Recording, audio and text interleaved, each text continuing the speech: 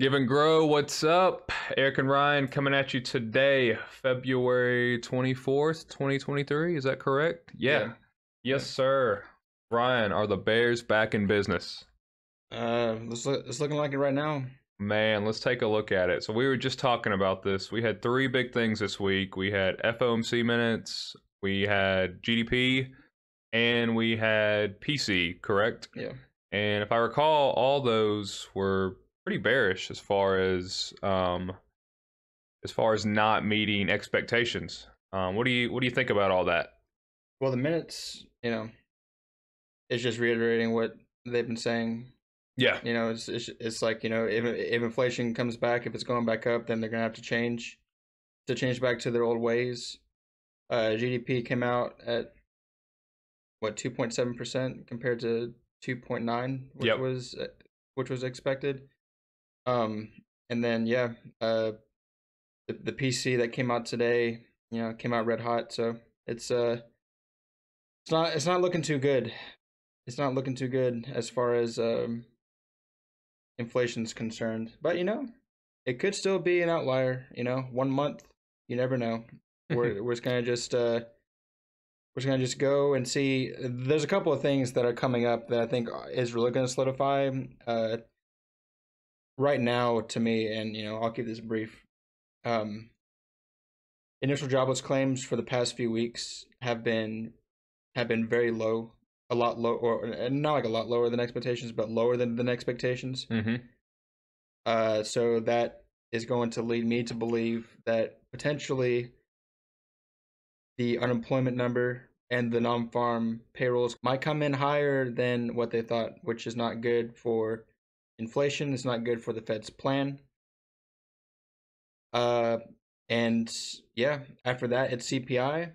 Uh, I think it's coming out like March the 13th or 14th or something like that, or it's around there. But uh, that's also coming up within the, within the next few weeks. And uh, FOMC in March is going to be the the real the real time. I'm already seeing people saying that they're going to raise uh, interest rates by 50 base points. Uh, Man, that would that would be super crazy if that happens. Yeah, yeah, they have to raise the fund rate again. It, it just is what it is, man. I mean, you know, you know, unemployment. You know, the labor market is still so strong. It hasn't been budging, and that affects inflation. You know, it just means that like there's there's more money being made, Yes, sir. and the, the more money being made, that's going to affect inflation. It's it's going to affect companies too. You know, people have been calling for this recession, whatever. So you know, it might, it might, it might be looking looking like it right now. Yes, it's all exciting. Man, let's uh let's take a a little look at our SQ.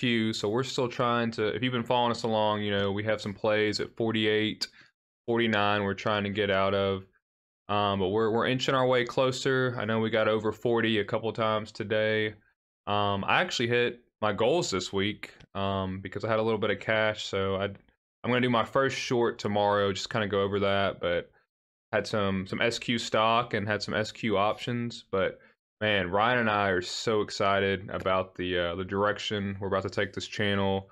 Um, we're getting excited about going over our weekly goals again. We're going to be changing some things up, and we're going to be doing a lot of videos going over those changes, um, and just just making a stronger, better system for this community, um, so we can all continue to make money and just grow in our knowledge, and um, just to live the best lives we can live. You know. Yeah. So on the spy broke the trend line, going down. Yeah. And we're kind of you know we're we're underneath it. We're approaching the 200 day moving average. It looks like right here. Uh, on on the daily, there's a lot of support coming up. We had a lot more volume than I thought we had today. Wow. I didn't Yeah. realize I got that. Yeah, I think wow. a lot of it was selling volume. Honestly, uh, just be mindful of the charts. Be mindful of um, what's coming up. So last week I asked you, I said, you know, can we test 400? Um, obviously we got below. We closed at 396.38. Um, we're not going to give a target or anything, but do you, you think we try to go to, to 390 next week? I mean, Possibly? I mean, it's it's def- Possible. it's definitely possible. Okay. Thing is, is that is that like you know, there's no good catalyst coming up that like that like would help Yeah, Uh, nothing crazy next week. How's the VIX looking? Let's see here. Where'd it The, go today? the VIX has been has been doing pretty uh pretty good. Yeah, we had a gap. We filled that gap. So um, the VIX, um, if you're new to studying the VIX, it just measures uh, volatility in the market. And usually when the VIX is going up, um, the regular indexes like the SPY, um, the Dow, Nasdaq are usually going down. Um, Yeah. So we'll have to keep our eye on a VIX or on the VIX. Um, and how the dollar do today? Uh, the dollar Went up a little bit. Yeah, the dollar's been doing really good. Look at that. Okay. I mean, I mean, over the past uh, the past few days, I mean, you know, it's been going from like 102 all the way up to 105, 26. Bullish for the dollar, bearish for stocks and equities. Okay. Right. So like, you know, the VIX, the VIX, the dollar, they're both going up. Uh, the SPY and the Qs going down. Uh, you know, there are some key levels to look out for though on the SPY. You know, 395, uh, 3, uh, 395, 393, and 390 are all like pretty big uh, support levels for the SPY. Uh, the Qs 290, 290, 287. Uh, I think that 287 on the, let me go to the Qs real quick the daily. Yeah, yeah. So um, the 200 day moving average down here at 289. So like this like 290, 289 level. If the Qs and the SPY can break both of those, it's just a matter of, of just looking at like past levels. But um, Yeah, they had increased volume too today. So. yeah, but Wow. you know these, um, you know this stuff we sold off, but we're just getting to these levels where um, you know the there you know there's support. You know what I mean? It's uh you know I I think that we're still in this time right now where we're not going to get crazy downturns. I mean, you know the spy. The spy closed at 396.38, which, you know, I mean, it dropped 1% uh, on the day. So it's not really, I mean, it is kind of big, but it's not like huge. Like, it's not like those like old, like 2022, the SPY and, and the NASDAQ going up like 3 to 4% in one day kind of deal. It's more of like, we're kind of on like a slow train right now going going up and down um Yeah, we're we're slowly roasting the chicken right now for sure. right i mean i mean since since the beginning of of february and like you know when powell came out and talked again uh a couple weeks ago i mean the spies come down from 418 to 396 the qs have come down from like 313 to 290 291 and you know who knows how far we're, go- we're gonna go down but you know it's why you just gotta just be careful you gotta you gotta look at the charts Yes, sir. Yes, sir. look so, at you know look look at all these things yeah. yeah, is this three straight weeks you've hit on your cash secured puts for your paper trading? oh yeah yeah yeah yeah i did Uh, Congrats, been- man. That's awesome. Yeah Man, I'm I'm so I've, I've already talked about it once, but I'm I'm so excited to show some of the new stuff we're about to be rolling out. Oh, yeah.